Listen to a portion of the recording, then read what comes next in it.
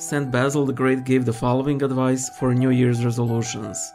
Let your demeanor, your dress, your walking, your sitting down, the nature of your food, the quality of your being, your house and what it contains aim at simplicity.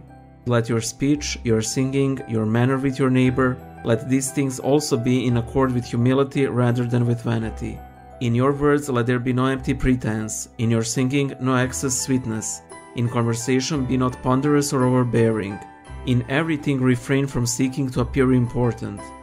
Be a help to your friends, kind to the ones with whom you live, gentle to your servant, patient with those who are troublesome, loving towards the lowly, comforting those in trouble, visiting those in affliction, never despising anyone, gracious in friendship, cheerful in answering others, courteous, approachable to everyone, never speaking your own praises nor getting others to speak of them, never taking part in unbecoming conversations, and concealing where you may